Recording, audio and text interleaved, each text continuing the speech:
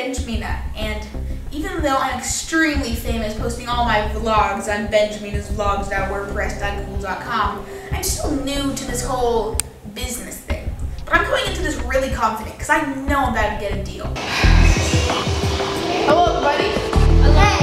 Uh, so my name is Benjamina. Um, I was a former shark on here, but then I was banned for just wanting goldfish and playing video games.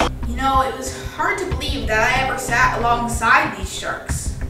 But ever since the incident of 2018, I mean, I can never look them straight in the eye. It, our relationship was so much different, and even though I, I was coming in confident, I now I'm starting to starting to be worried. Uh, well, my project I've been working on is Benjamina minifigure.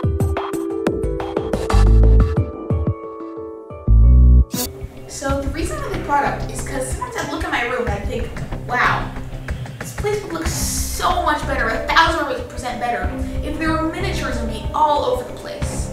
And I decided to solve that problem. You see, when I see a problem in life, I go out and solve it. So I started making miniatures out of clay. I thought I could capitalize on this. Alright, so here is the first, here's the first one.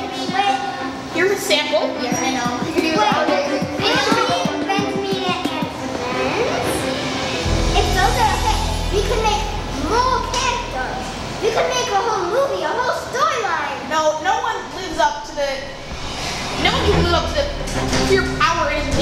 Benjamina.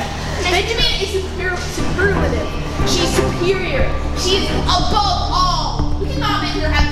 We cannot make any other characters. Those will just those will just demoralize the idea Ooh, of Benjamina. What about, what about Benjamina's dad? Oh, Benjamino? I haven't talked to him in years. Ever since he didn't give me that candy. Anyway, it's pretty. Because the fun thing about Benjamina minifigures is that you can put them together and take them apart.